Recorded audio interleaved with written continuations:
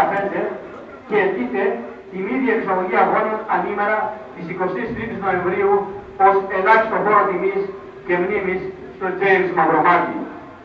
Φίλαθλοι, με αφορμή τη συμπλήρωση 10 χρόνων από το θάνατό του, η ΠαΕ Πρατανιάς Χανίων πραγματοποιεί σήμερα μια σεμνή τελετή.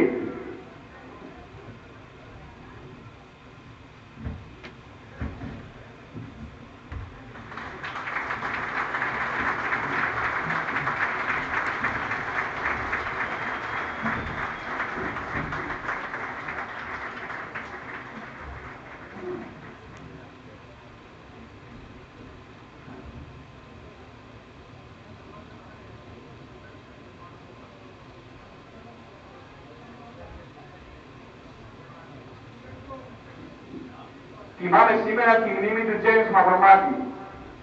Στο 31ο λεπτό του αγώνα, το λεπτό που έκατσε εσύ στο James Μαυρομάτης, φίλοι της ομάδας μας θα ξεδιπλώσουν στο κέντρο της θύρας 3 μια μεγάλη φανέλα με το όνομά του.